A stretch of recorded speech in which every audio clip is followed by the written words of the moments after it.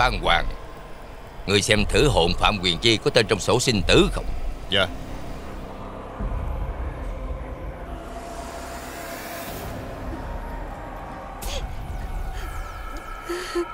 Dạ bẩm Diêm Dương. Quyền Chi không thấy tên trong sổ sinh tử. Hồn chết quan cũng không về trình diện. Như vậy Có thể khẳng định Quyền Chi vẫn còn sống ở Trần gian. Như vậy là con gái con còn sống sao không biết bây giờ nó đang ở đâu. Nó sống ra sao? Dạ bẩm Diêm Dương Cho con tìm được con gái của con. Con phải tìm con gái của con mang về. Con dập đầu xin ngài. Hồn Phạm Quyền thế Đã làm trái luật luân hồi Mà còn dám cầu xin. Đã chết mà làm sao còn xin trở lại trần gian? Dạ tâu ngài. Số của quyền thị hưởng thọ 75 tuổi mới tận. Cô ấy tưởng đứa con gái của mình bị mất, Nên cô ấy nghĩ quẩn. Nay chết quan ức, Mẹ con chia lìa, Rồi giờ lại biết con gái mình còn sống. Nhưng không biết nơi nào. Thật là không cam tâm.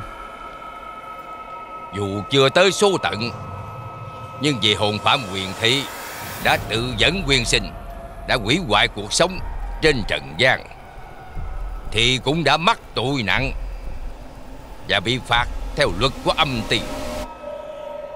Nếu thả hồn trở lại dương gian, Gây náo loạn người trần trên đó, Thì khó mà chấp nhận được. Xét ra thì quyền thị cũng không có muốn chết. Cô ta khao khát sống. Để tìm được đứa con của mình. Nếu như Diêm Dương bắt hồn quyền thị, Chịu tội dưới âm ti, Thì đứa con gái trên trần gian Sẽ gặp nhiều nguy hiểm. Đứa con gái đó sẽ sống ra sao? Trong suốt quãng đời còn lại, Vì thiếu vắng đi người mẹ của mình. Cúi xin Diêm Dương Cho mẹ con được đoàn tụ. Bẩm Diêm Dương, Xin ngài cho con quay lại Trần gian. Sau khi con tìm được con gái? Và tìm cho nó cha mẹ nuôi, Thì con sẽ an tâm quay về âm ti mà chịu tội.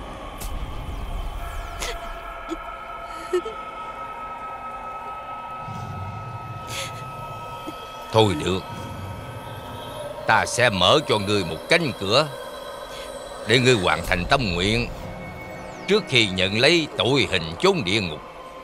Ngươi sẽ được hồi dương Để tìm lại đứa con gái thất lạc Và nuôi nấng cho nó nên người. Rồi sau đó Ta sẽ cho hắc vô thường Lên dương trần dẫn người Về đây chịu tội. Lúc đó cũng không muộn màng gì hết. Đa tạ ngài Đa tạ phán quan Bạch vô thường. Dạ. Hãy dẫn cô ta quay trở lại Trần gian Cho hồi dương lập tức. Nhớ là làm cho cô ta quên hết mọi chuyện ở âm ti Trước khi nhập xác hồi dương đó nghe. Dạ tuân lệnh. Nếu muốn biết con gái của quyền thị hiện giờ ra sao Ta có thể hỏi thổ địa và thành hoàng. Ắt sẽ rõ. Sao ngài không giúp cô ấy Cho hai mẹ con cô ấy được đoàn viên? Điều này không đúng với luật âm dương. Hơn nữa Hai mẹ con quyền thị sẽ phải trải qua nhiều thử thách.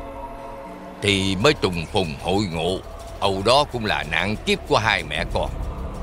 Mà nhà quyền thị phải trải qua. Chính bản thân của quyền thị phải vượt qua mọi gian nan,